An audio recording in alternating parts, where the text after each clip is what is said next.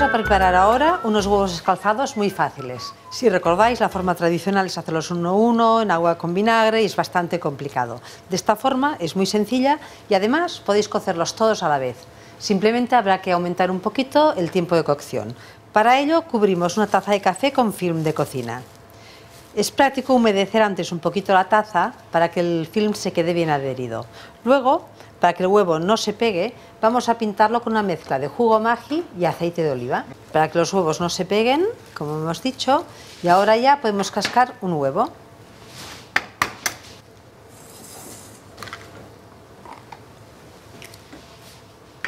Ahora lo sazonamos con sal y con pimienta, un poquito de sal gruesa, un poquito de pimienta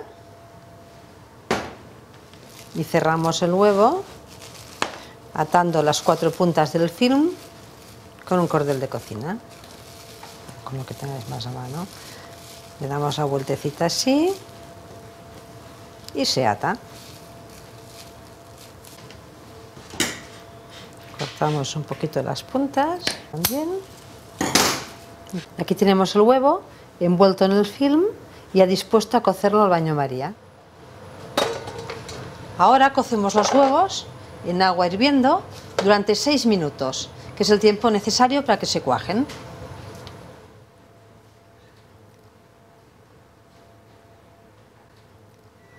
Retiramos los huevos del cazo y los enfriamos inmediatamente en agua bien fría.